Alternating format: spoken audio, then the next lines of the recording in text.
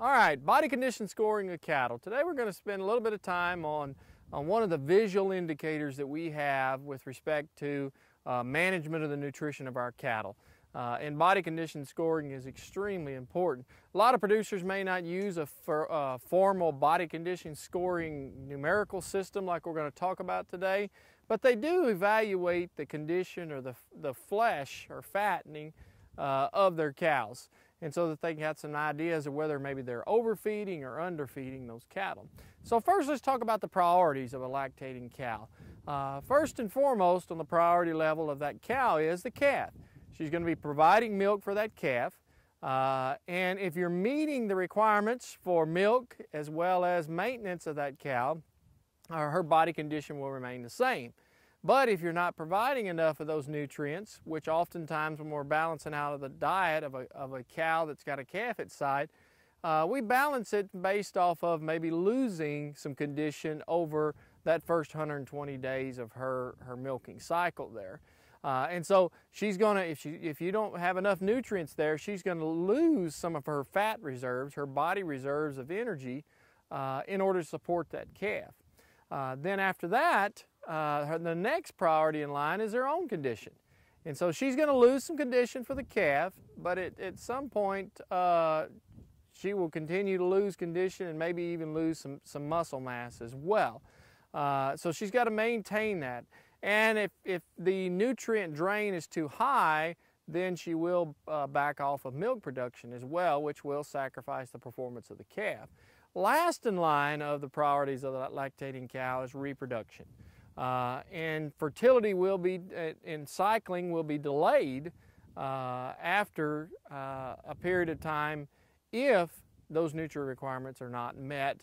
Her body condition scores uh, becomes too low and essentially the body just says, hey, I don't have enough energy reserves to go ahead, jumpstart the reproductive cycle and go ahead and, and start cycling so that, that that animal could rebreed. And so Last in line is reproduction. We discussed in class that as we, we talked about the economics of, of beef cattle production and the cow-calf enterprise, reproduction and fertility is so important to the grand scheme of things and, and the profitability.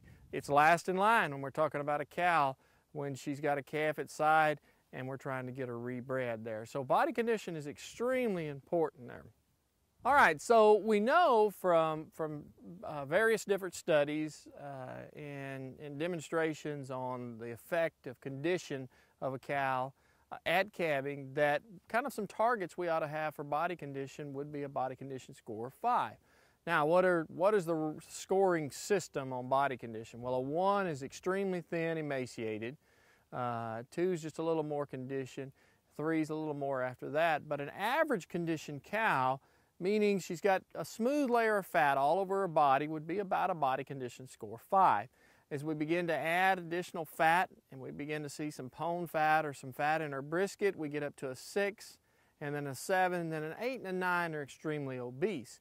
For most ranches, the, the range that they will see in their cow herd is somewhere between a 3 to a 6, maybe a 7 at the highest. But most of the time it's between a 3 and a 6. If we get below a three and get to a two and a one, and on a grand scale, we've got the whole herd looks like that, we probably got a little bit of a neglect there and we probably need to really up that nutrition level of those cows. Whereas if we get cows that are, that are above that body condition score six or seven, those cows are probably being fed too much or maybe they just missed a calf uh, the previous year and that's why they have that extra condition on them. So uh, our target, and one of the things we know from data, and we'll show you some of those numbers, is that we ought to be looking at about a body condition score 5 uh, at calving. And so average condition at calving is kind of a target that we shoot for. So when we're evaluating those body condition scores, some areas that we're going to look at uh, in evaluating the body condition score of cattle. One, we have to understand that cattle will fatten from their, the top down and the front back. So what you'll see on, on whether it be uh, breeding animals or market steers and heifers, they're always going to begin to put on some fat in the brisket. They'll begin to put on fat uh, as we begin to move from the top down into the, from the front back. They'll put on some fat behind their shoulders, across their ribs, around their tail head, uh, down their top line, all the way down into their, their udder or cod, we'll get some excess fat. And so as cattle become extremely fat, they take on more of a rectangular type appearance uh, with that. So some key areas that we're going to evaluate condition for a body condition scoring is uh, we're going to look at the ribs. And so if we can see any of the ribs, they're probably going to be in somewhere that four to uh, three to four body condition score range. If all of their ribs are covered and they've got fat all over the rest of their body across their spine, they're probably going to be somewhere in that five to six. When we see a lot of extra brisket or a lot of fat around their tail head and pones, they're probably going to be up into that six or seven. So that gives you some key areas, and we'll look at some examples uh, with condition score a little bit later.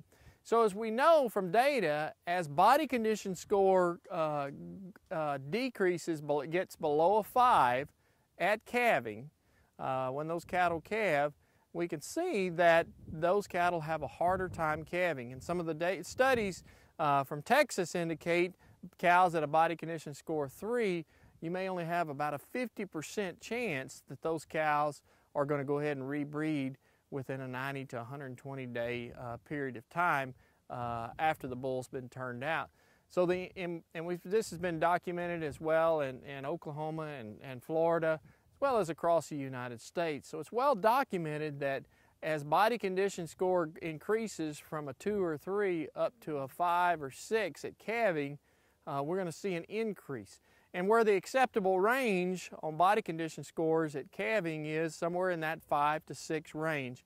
We know that those cows, uh, if they're in that condition, as long as everything's right uh, from a, their organ and hormones and everything, and the bull's good, we ought to see those cattle ought to conceive and uh, be bred for the next calf in them.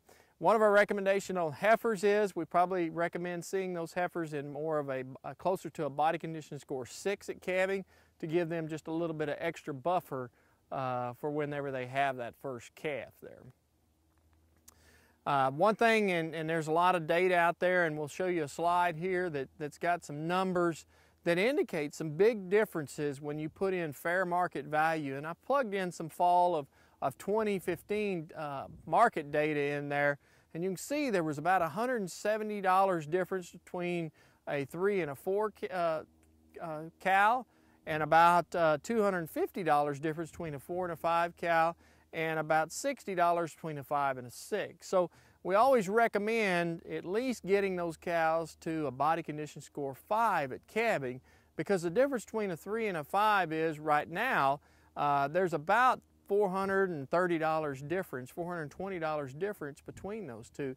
And you could, after weaning, you could really spend some additional money to bring those cattle up provide, by bringing their body condition score up to an acceptable range there. Now, it's not to say that just because I calve my cows out in a body condition score 4 that my rebreeding rate may be in the 60s or 70s.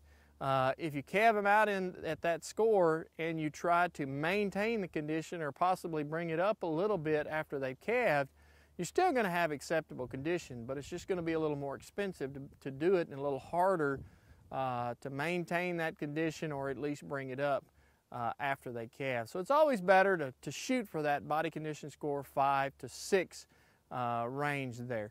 Now, when's the time that we do manage body, or we actually look at body condition score? Well, it's good practice to evaluate it throughout the year, but some key times to look at it would be, one would be at weaning, because if we wean those calves off the cow, we know we're going to have several months prior to those cows calving again.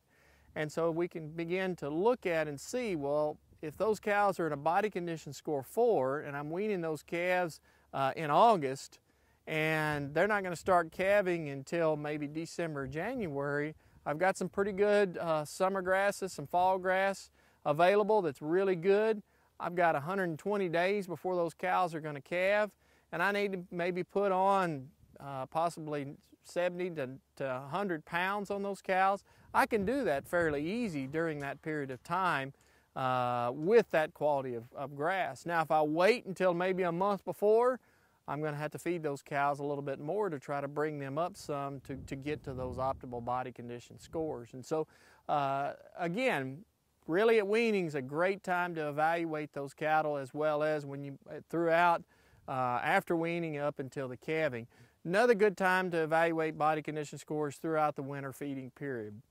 Uh, whenever we get into some, some long, cold, wet winters, especially here in Texas and the southeast, uh, we will see some big energy drains on those cows. And if we're not offsetting that with extra nutrients, they will really lose a lot of body condition uh, over time and they'll come out of the winter looking pretty rough. So uh, monitoring that body condition during the hay feeding and supplemental feeding uh, season is extremely important as well. So some things to look at.